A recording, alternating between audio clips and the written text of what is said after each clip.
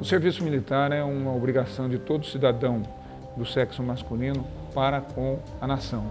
É através do serviço militar que as Forças Armadas qualificam os efetivos que vão compor as nossas reservas mobilizáveis em caso de uma ameaça à soberania do país.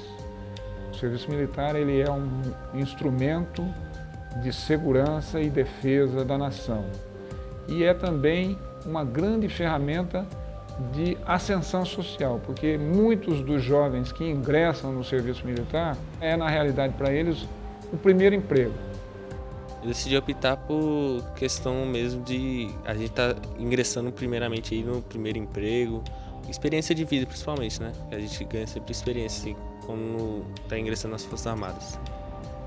Se o jovem deixar de comparecer para alistamento na junta do serviço militar no prazo devido, ele fica impedido de obter uma série de documentos. Ele não pode retirar passaporte, ele não pode renovar o passaporte caso ele já o tenha, ele não pode tirar carteira de trabalho. Se ele quiser prestar um concurso público, ele não vai poder se inscrever. Se ele já estiver aprovado num concurso público, ele não vai poder tomar posse. Se ele for um profissional liberal, ele não pode se inscrever no órgão de classe da sua profissão. Tem uns amigos meus que estão lá, né? Tem anos, né? 5, 6, 7 anos e eu sempre gostei, né? E quero servir, né?